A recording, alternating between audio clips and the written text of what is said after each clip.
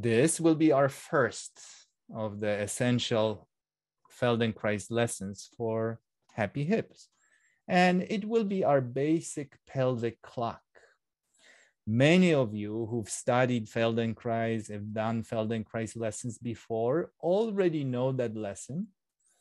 But I will invite you to take a fresh new look into your experience because you will have a chance to actually feel what's happening while you're moving your pelvis in the hip joint.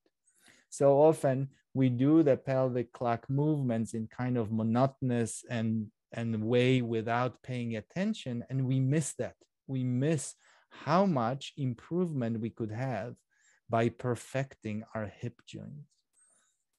First of all, you're lying on your back. If you're comfortable, legs are long.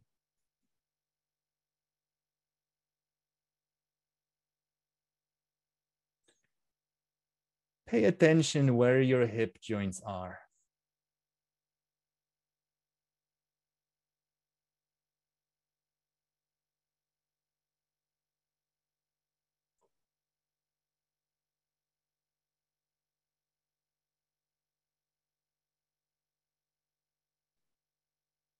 Pay attention. Can you form it in your mind? The image of your two hips, your right hip, the left hip, the ball of the femur sitting in the cup, acetabulum? Can you feel how close to the midline the two hips are? Observe your pelvis. Notice where your pelvis is on the floor, relatively to the floor.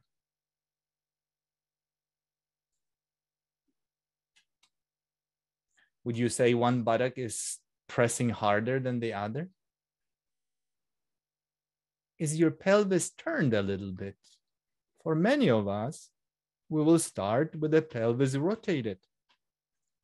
Now, if your pelvis is rotated, can you feel which hip joint is turned in then and which hip joint is turned out?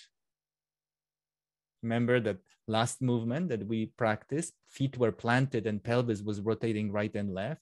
That require one hip joint to go into internal rotation and the other to external rotation. We may never thought of it that the twist of the pelvis will, will put one of the hip joint in the internal rotation and one on the external. Most of us are familiar with one foot maybe more turned out, right? That's the expression of internal and external rotation. Watch as you're lying. Does one foot feel more open? If you extended a line from the right heel to the, let's say, third toe and beyond, where is the foot pointing? Is it pointing to the ceiling? Is it pointing out to the side? And what about the other foot? Are they symmetrical? Or would you say one is more open? And go ahead and interlace your fingers, lift your, put them behind your head, lift your head and take a look at your feet. Look at your feet and see if they match what you felt. Are they mirror image? Are they about the same opening? Or does it feel like one foot is at 45 degree and another at 60 degree? Or one foot feel more open? Now go back to feeling what about your pelvis? So so this is obvious. If the foot is more open on the right side therefore it's likely that your right hip joint is externally rotated. It's likely but it's not mandatory because you might have something that's called retroversion or anteversion that will cause your foot to be more turned out without really turning your hip joint. That it's not the hip joint that is turned. It could be the architecture of your bones that decides why one foot pigeon toes or both feet pigeon toe or why you walk Charlie Chaplin like. It could be not because of hip joint motion, but the structure within your femur now back to position of your pelvis. Notice right and left buttocks, how they're resting. Is one side a little bit flatter? Then pay attention to your lower back. How is your lumbar spine? Would you say it's arched? Is it arched more on the right or left side?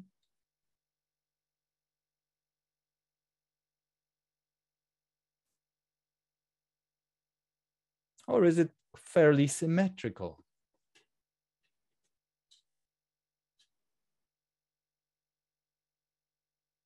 And then notice your ribs and shoulders, how they are resting.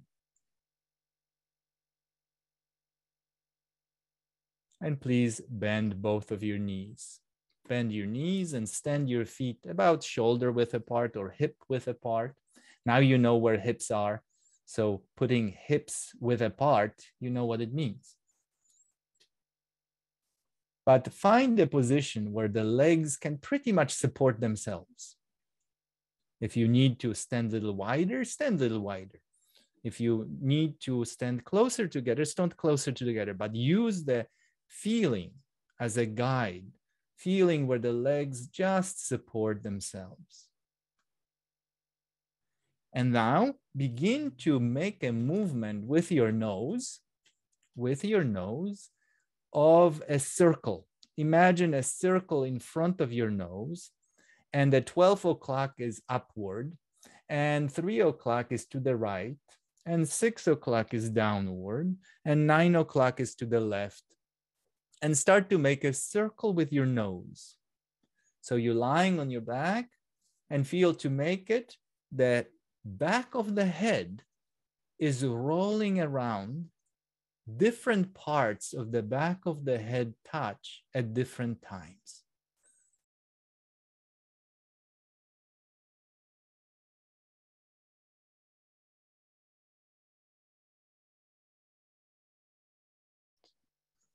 Continue with this and make it a little faster without rushing, but a little simpler.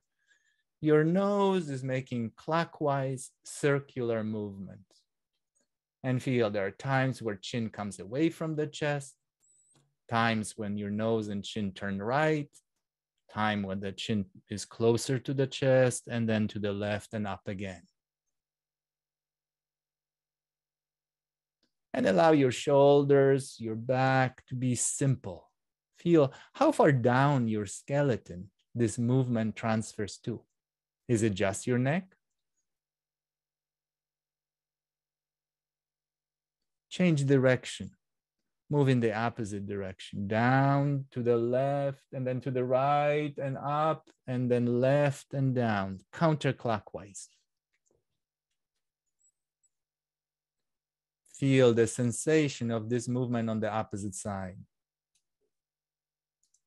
And feel the back of your head is rolling in a circular way, which means that on the back of your skull, you're moving a little bit upward, then toward the left side of the skull, then to downward. The weight bearing is closer to your neck. Then you pass it to the right side. And as the chin comes up again, the weight bearing shifts toward the top portion of the back of your head and feel if you were lying on the semi dry paint, your hair in the back will be painted in a circle. And make it smaller but quicker. Just a small counterclockwise circle with your nose. Whoop, whoop, whoop, whoop. Simple, simple, simple, simple. Feel how you can let go of your chest, shoulders. Doesn't have to be big. Wonderful. Stop this movement and do the same with your pelvis. Make a movement with your pelvis around the circle. 12 o'clock is toward the top of your pelvis where your lower back starts. Six o'clock is you toward your tailbone. Three o'clock is on the right, right side, and nine o'clock is on the left side. The same clock as you had for the face. And very gently begin to make a movement clockwise. Your knees are bent now. Your knees and hips are bent. And begin to make a movement with your pelvis around the clock. Don't make it big. the improvement is not proportional to the size of movement you make. If anything, it might be reversal proportion. The bigger movements you make, the less you will improve. The smaller and clearer, and please don't rub your spine uh, and rub your pelvis. It's not like a smearing movement. It's not like you were spreading paint or peanut butter under your pelvis it's more of that circular rolling. There's no rubbing between your buttocks and the floor. It is a circular transition from point to point to point. At every point in time, different point of the back of the pelvis is touching the floor. Go counterclockwise, which means flatten the lower back and then start moving to the left and downward toward tailbone and then to the right and then upward.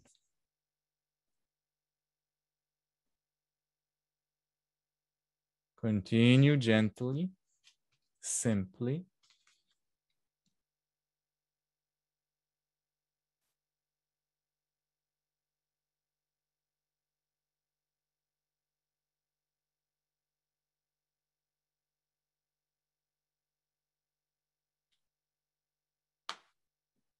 And watch what's happening with your head, with your nose, as you're making movements of the pelvis. Change direction. Now make it a little smaller, not fast. It's not about being abrupt. Look, when you're walking, would you like to walk abruptly and every step jarring and huge movements? Or would you rather do it with a flow, with a grace? Do the same thing here. Move gracefully, not powerfully. Good. Stretch out your legs and rest a moment.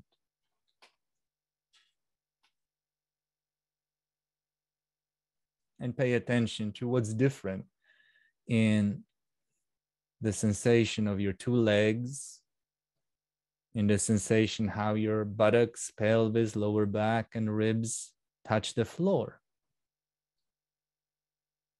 Many of you will notice an increase in contact with the floor.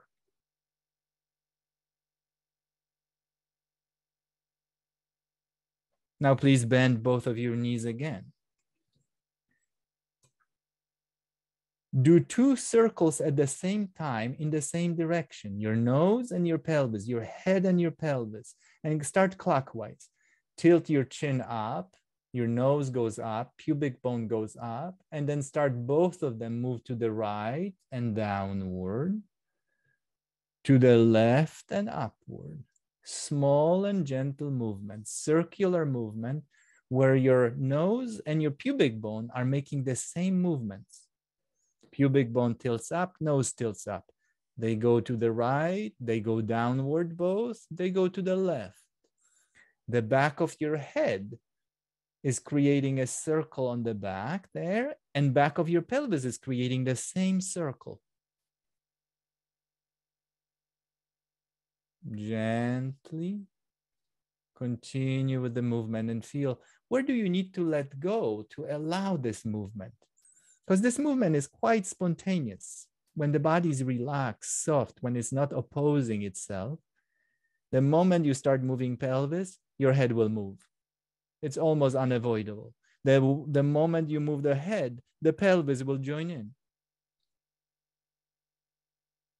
However, when we have some tension all along our spine and rib cage and the hip joints, those connections may be gone. And then you move your pelvis, but the head isn't moving, or you're moving the head and neck is straining, but but the chest is still or pelvis is still change direction and move both of them in the counterclockwise. Make it small. Make it small. So it's upward, nose comes up, pubic bone comes up, you're touching, flattening the lower back, and you go to the left and you go downward, and your back arches, lower back arches a tiny bit, chin comes to the chest, and then you go to the right.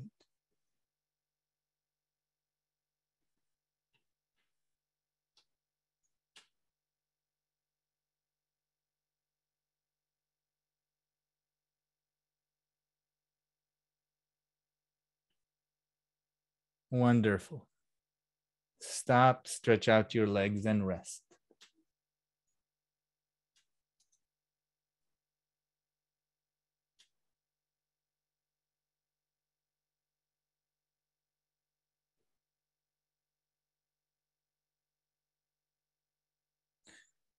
Watch your contact with the floor, length of your two legs, openness of your hips.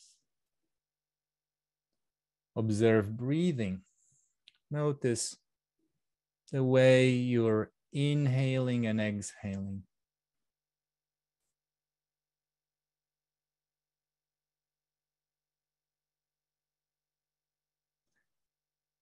All right, please bend your knees again.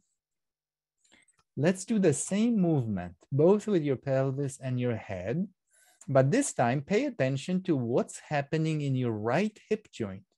How do you do this basic movement? How do you do the pelvic clock, clockwise movement in your right hip joint? What's happening? Are you flexing? Are you extending? Are you internally rotating or externally rotating? And when? This is interesting. Bend both of your knees. Knees are bent, normal bend position. And go on with the pelvis in the circular clockwise direction with your observation of the right hip. What's doing in the right hip as you making circle? Both knees are bent. And feel it.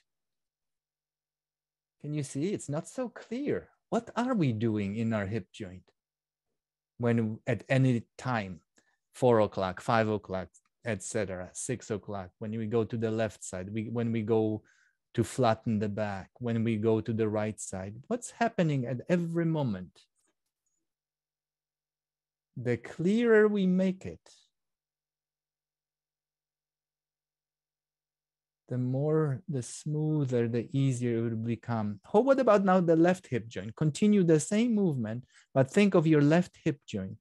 What's happening as you continue with the clockwise circle? In your pelvis and in, in your in your head. The head and pelvis are making counterclockwise uh, clockwise movements, feeling, sensing your left hip joint.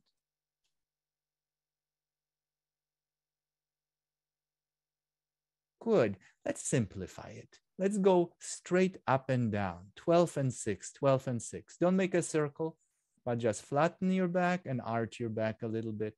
Your nose will move down and move up, move down and move up. We're not making circle now. Make a plain movement of tilting the pelvis back and forward.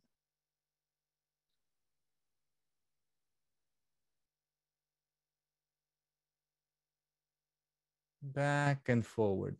When you tilt your pelvis back, your lower back flattens. When you tilt your pelvis forward, your lower back arches a little bit. At the same time, your head, look what happens. When your back arches, the chin gets pulled to chest. When your back flattens, your chin is pushed away from the chest. So again, here too, the pelvis and head are making the same movements. They both tilt back they both tilt forward. Continue with this movement and feel what's happening in your right hip joint. Feel your right hip joint is flexing, meaning bending, and the hip joint is then extending, at which point you go into flexion, and at which point you go into extension feel. This is the example where we move pelvis relatively to our thigh. We're cl quite clear when we move the thigh in relation to the pelvis, but we get less clear when we're moving pelvis relatively to the thigh. Good, stop this movement a moment And now bring your knee to chest a little bit and away from the chest, but just a barely, just barely, just a small, similar amount of movement to what's happening when you're tilting your pelvis. Feel this is the same movement. Here and there. Lift it a little bit and lower it. Stop, go back to rocking your pelvis and feel now your pelvis moves relatively to your more or less stationary thigh. When you arching the back, hip flexes.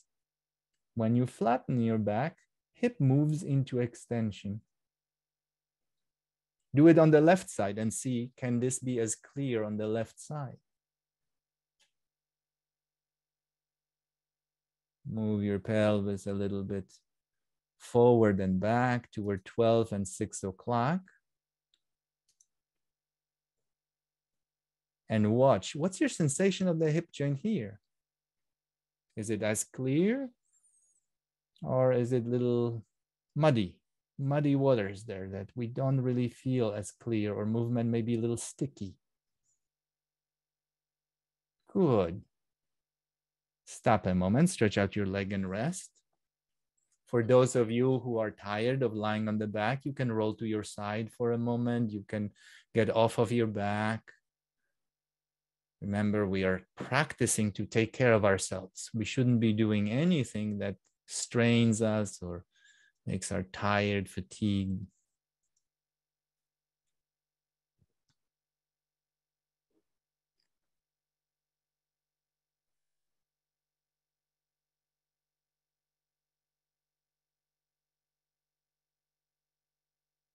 Then return to lying on your back. Let's go with a movement of the pelvis from three to nine, just across, right to left, which is rotations. Remember when you were standing and I asked you to either pivot your foot, Charlie Chaplin, or pigeon toeing in, in toeing, out toeing, in toeing, out toeing. Then we turn the pelvis left and right relatively to planted feet.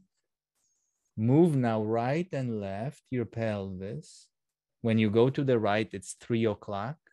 When you go to the left, it's nine o'clock. We're not making circles anymore. We're just going across from left to right. And do not lift your uh, whole pelvis. It's not a bridging exercise. Think of your pelvis is like a wheel that turns a little bit left and a little right, or as if you rolled a ball. There is no spinning, there is no smearing, there is no um, your pelvis brushing the carpet. It rolls like a ball, a little bit to the left, a little bit to the right. Feel what's doing in the hip joint. Could you tell your right hip joint? What happens when you turn your pelvis left and when you turn the pelvis right? Which of the cardinal movements of the right hip joint is utilized when you're rolling pelvis right and when you're rolling the pelvis left. Feel your knees are standing. We're not, we're not mm, tilting. It's not about tilting the legs right and left. Also, it's not about holding them rigid. If they move a little bit, it's okay, no problem. But it's not about rigidity, but it's also not about keeping the hip joints fused and just tilting legs right and left, moving the pelvis the same amount.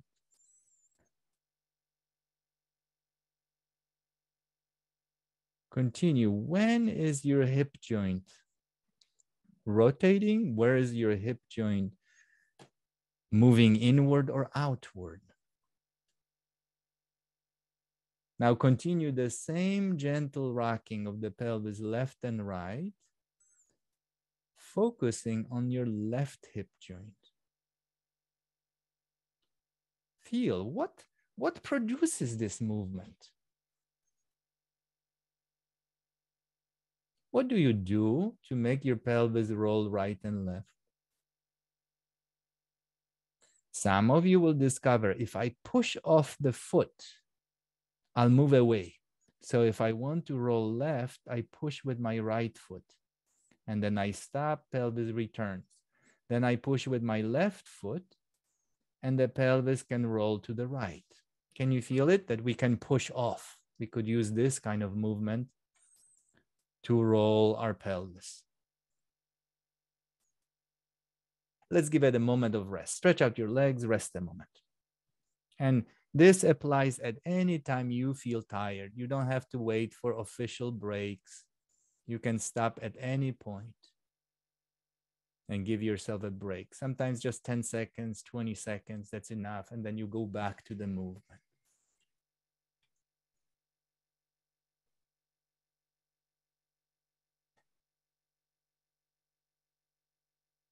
Notice the quality of your contact with the floor.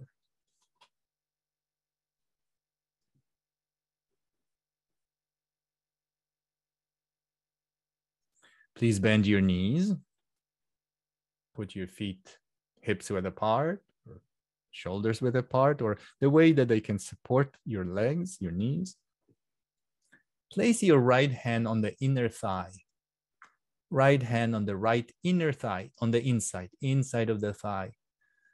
There are muscles that move, that are connecting your pubic bone with the inner thigh, with your femur.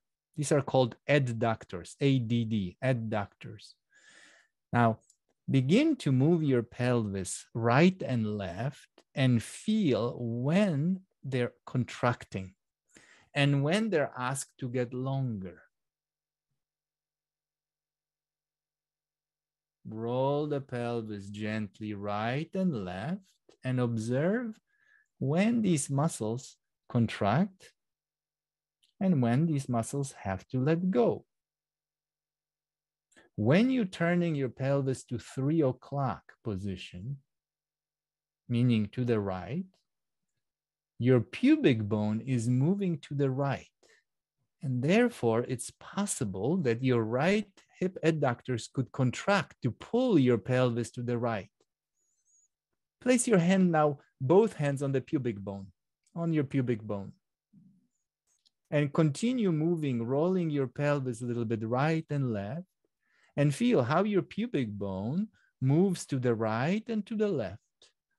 One time it can be pulled by your right hip adductors, and next time by your left hip adductors. And what you don't want is to say yes and no at the same time, to contract the right hip adductors while you're trying to go left, because this is as if you were trying to turn right while trying to turn left at the same time. This is never a good idea to do two opposing things at the same time, unless you're trying to make yourself into a brick isometrically contracted brick. And sometimes isometric is good. You contract right and left at the same time, you become like a wall. But walls typically don't move that well. Now place your hands on the left thigh, inner thigh, and feel workings of the muscles of the left thigh, the inner thigh, as you're rolling your pelvis a little bit left and a little bit right.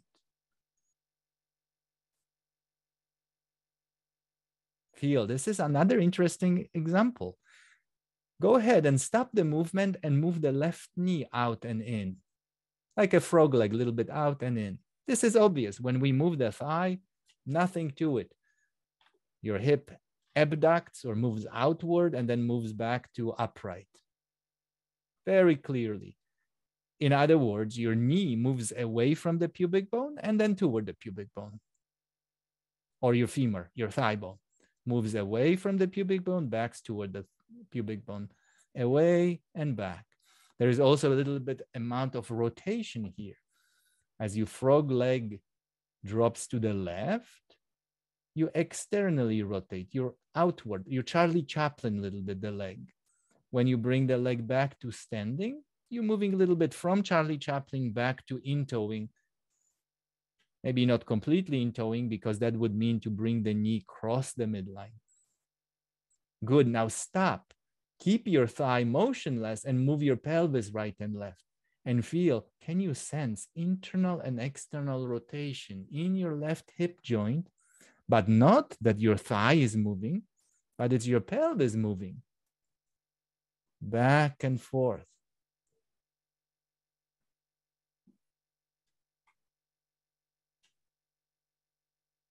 Wonderful. And then stop, stretch out your legs.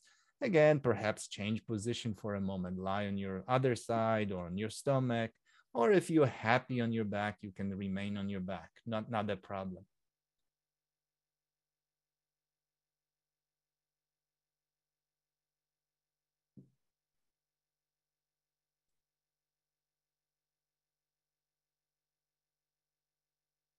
We spend most of our life and we create habits, habits of movements, habits of holding ourselves.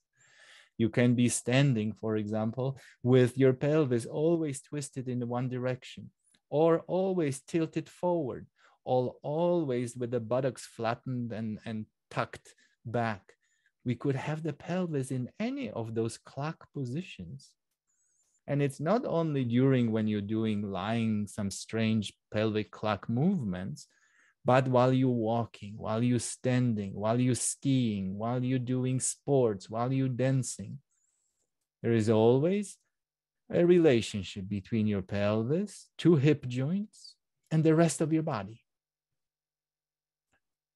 What we'll be exploring in these next five sessions will be how to improve those relationships how to go beyond just habits. Now lie on your back again. Stand your feet in a way that they can support themselves. And go back to the movement of the nose, head, and your pelvis in the same direction. Clockwise movements. Both your nose, your head, and your pelvis are going in the same direction to the right first, downward, to the left, and then upward. Continue moving. Make it smaller. The Olympics of the Feldenkrais method is the gold medalists are doing the smallest movements and they still can feel precisely. They could write with their pelvis. They could do tiny micro writing with the pelvis moving it so precisely that it will create letters. It's not some big twists. Gentle movement clockwise with your head and pelvis. And while you continue, watch how each of your hip joints is permitting at which points it gets a little fuzzy and maybe disturbs the movement and the movement gets a little jumpy or a little sticky. And those moments is where we normally resolve to pushing harder. When you have an imperfection within let's say hip joint and the movement is less smooth you start to push you start to force you start to speed up the movement you start to get impatient. In emotionally it's never pleasant. It's always when we catch ourselves that something is not smooth we are not moving as well as we wish it feels not nice. And we have tendency to either harden up and push through that discomfort or we get annoyed angry we rush away from the experience or we get so bored that we fall asleep. It's just like ah oh, that's nothing to me. No interest whatsoever feel if you could keep your attention. And when you discover that something is not so simple, don't fight it. Don't try to fix it. Just continue very gentle movement. Your head and your pelvis. Change direction, go counterclockwise. Head goes up, pelvis tilts back, go to the left. Then both head and pelvis go down, chin comes to the chest, and then to the right and then upward again. Gentle, simple.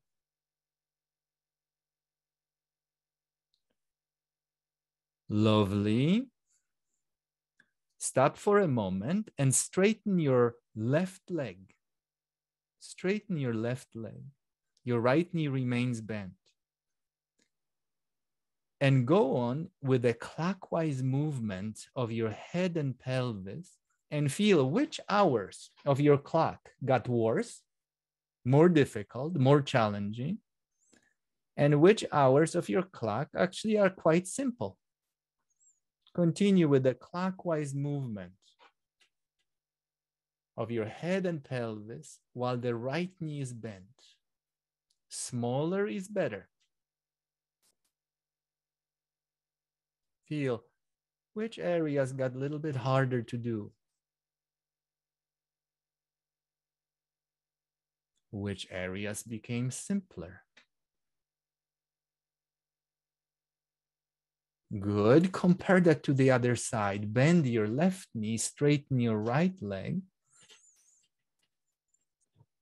Go counterclockwise with your head and pelvis. Go up and to the left and down and to the right.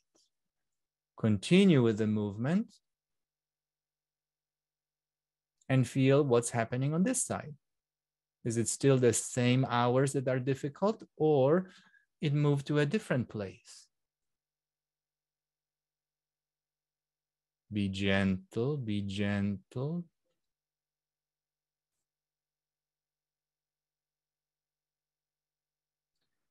Change to clockwise movement with the same left leg bent and the right leg straight. And listen to the experience, to your experience. When you have your left knee bent, does it automatically shift your weight in the pelvis to a certain direction, to certain hours that you don't have to do anything and its pelvis already is tending to move there? Good. Stop, switch legs again. Bend your right knee. Straighten your left one. And go with clockwise direction first, two circles.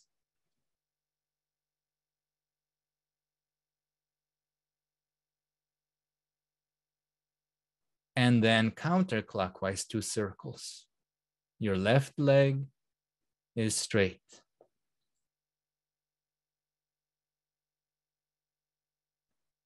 Wonderful. Bend your left knee too. Both of your knees are bent and go back to clockwise movements of the head and the pelvis and see if it's a little better. Don't be fast. Don't rush. Don't be fast. Don't be greedy. Don't try to improve immediately. Allow yourself, just as we did when we were babies, to fail so many times. And we kept failing and we kept not getting what we wanted to do. We wanted to roll and you were not able. And it took you weeks, weeks, weeks until you rolled once and then you couldn't do it again. Try to be okay with that process where things maybe are not perfect, but don't force. Excellent. Stretch out your legs and rest a moment, please. Notice your pelvis, contact of your pelvis with the floor. Notice the sensation of your hip joints, the right socket, the left socket, the right ball of the femur, the left ball of the femur. Are you clearer? Do you know where your hips are a little bit better? We cannot improve if you don't know where they are, what they do, how they move, what they feel like. You cannot improve. Please bend both of your knees. Stand them so they can support themselves fairly well. And then cross your right knee over the left. You may need to adjust the stance of your left leg for this situation. Cross the right thigh over the left I just told you before, first assignment, first don't don't cross your legs, or at least don't do it too much. Will you will have an opportunity to learn why. Why is it so important to not cross the legs or not to be habitual slave of certain crossing? Go on with the circles of the pelvis. Start with clockwise movement with the head and pelvis and feel in this situation which hours get a little bit challenging, little sticky, and which hours of your clock are actually quite fine, no problem. Breathe with that and observe having the right thigh crossed over the left. You fixing your hip joint you're not increasing freedom between your pelvis and your thighs. having one leg attached to the other creates a certain unit, fixation. Can you feel it? Change direction of the clocks. Still the same foot, still the same foot, but go in the opposite direction.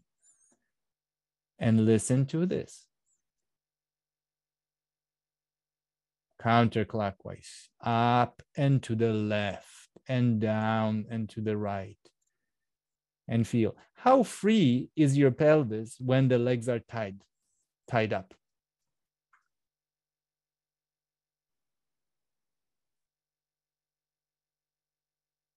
uncross them and continue one circle clockwise, one circle clock, counterclockwise, and feel is there a difference? Is there a difference in your control over your pelvis, over your back, over your hip joints? Wonderful. Switch crossing. Cross left thigh over the right.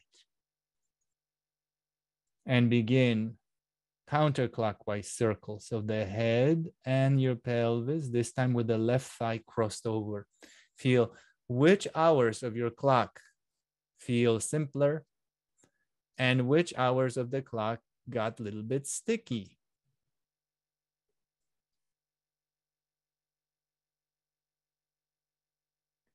Would you say your overall feeling of freedom and effort is better than with the legs apart? Or do you feel that having the legs crossed may feel comfortable, may feel comfortable habitually, may even feel comfortable emotionally? Because when we cross legs, we go into a little bit of protective way of crossing legs. We don't expose ourselves, we hide, just as when we cross arms, as we fold into ourselves. And sometimes it's wonderful when we don't feel so hot, when we don't feel so confident, nothing wrong to do whatever is needed to give ourselves a sense of, of hugging ourselves, of hiding. No problem. That emotion will pass and then you will regain your confidence and you'll be fine. So there is no movement that is wrong. But if we do something over and over and we have no other choices, then it's the problem. Change direction, experience which hours are easier now, which hours are more difficult. Beautiful. And then uncross your legs. And before you rest, do two movements one way and two movements the other way with legs apart. And feel what is the sensation of freedom in your hip joints Feel movement of the head and pelvis, both moving in the same direction, supporting each other. Excellent. Stop it, stretch out your legs, and rest. Feel the sensation of how much space you have in each of your hip joints, your right and left hip joint. Do you feel like there is a little bit more spaciousness there? A little bit more freedom?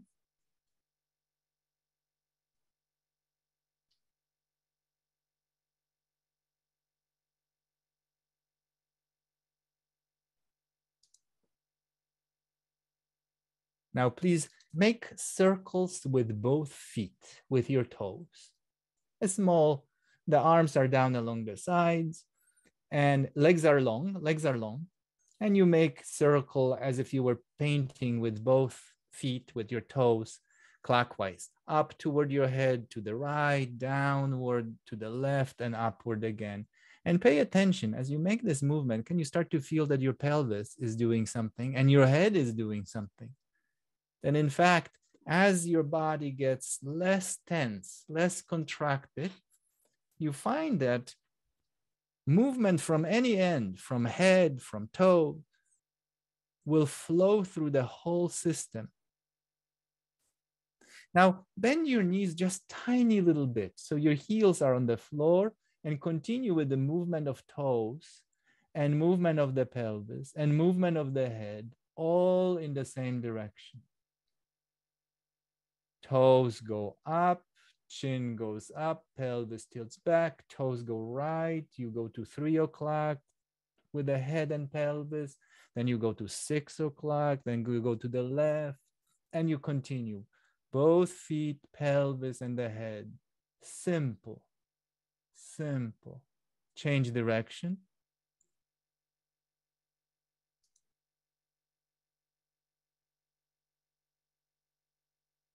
Wonderful. And then stop, stretch out your legs and rest.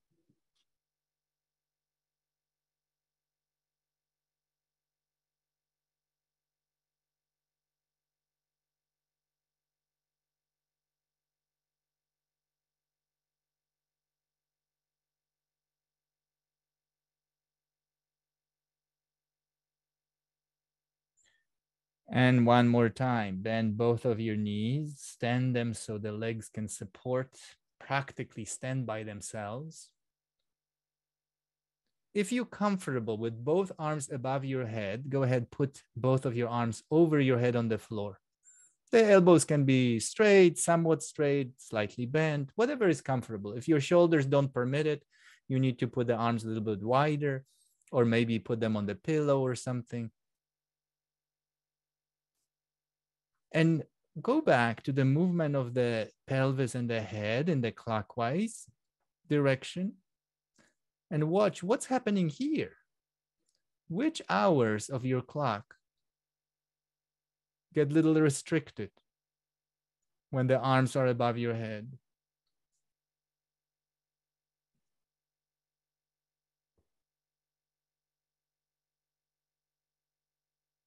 Change direction to go in the opposite. Slowly and gently do it that you have all the time in the world to feel it, to experience. Don't worry if you're not sure. You, you, you listen to my question, which hours, and you feel like, I'm not sure. I, you would like to get that information. This is not important. What's important is your direction of your attention. You're like a baby that is attending to herself, to himself or themselves, attending to the experience, your own experience, and forming out of that focus, out of that attention, precision comes. It's not external that I'll tell you that this movement should limit this, and therefore you will put it in your head that that's what should happen. For you to maintain attention and slowly these things start to show up. Rest a moment. Put your hands down along the sides. I was listening to a podcast recently and a person who wrote a book called your inner fish about um, evolution. He said his experience, his early experience, where he was going to a desert and trying to spot where the bones of dinosaurs and some treasures are. And he said that he partner up with people who would just go to the desert and spot right away everything like over, here onto the left a mile from here i bet there is something i can see it and he would just watch and all he sees is orange rocks and nothing. And then it took some time before he could watch the same thing and start to spot oh that little glitter that little indentation in the ground that means something. It became meaningful. I also recall when i was once working with uh, surgeons on, on their postures and body mechanics during the awkward surgeries. And I recall uh, talking to a person, they were all showing on the video, on the picture, the insides of the person. To me, it all looked like red goo. I couldn't see anything. And the surgeon who was next to me was like, Oh, look at these tonsils and look at this and look at this structure. And all I see is they're just a goo, like red goo. And he told me that his experience during residency was the same thing that he would look at the picture under the scope and couldn't detect a thing. But after years of polishing it, improving, then you, you start to, from that chaos comes patterns and clarity. The same thing is for us here. One last movement. Interlace your fingers, bend your knees, lift your head. Keep your head up in the air and be, continue with the movements of the pelvis. Two or three circles in clockwise direction. Hold with your hands so you're not straining your neck. Your abdominals now, now are contracted. Can you feel they're busy holding your head up? Which hours of the clock get fuzzy? difficult, which hours are quite okay, no matter if you keep your head up or if the head lies down.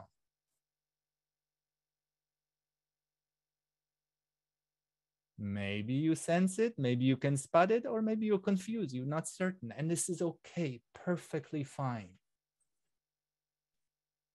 Leave it alone. Stretch out your legs. One more time, pay attention where your hip joints are. Pay attention to your pelvis, to your spine.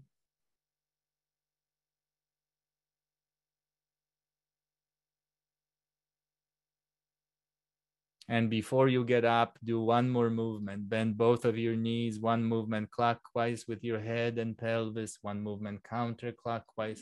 When you don't have restrictions, of crossed leg, of the arms above the head, or head lifting, or just one leg being bent. Feel how free your whole body can be in motion in one direction and in the opposite direction. Please roll to your side, come up to sitting. Sit a moment. Take a breath, get yourself in anti-gravity position. Some of you may feel a little lightheaded, a little dizzy. So give yourself a moment to get used to uprightness. And whenever you're ready, come up onto your feet to standing. And pay attention in standing what your standing is like. How tall you are, sense where you are in relation to your feet, to your heels, where you are in relation to your pelvis, where your pelvis is in space. Can you feel your pelvis being in there in its known home position?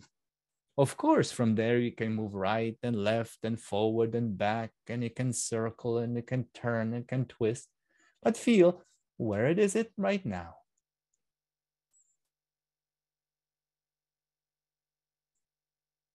and walk a little bit.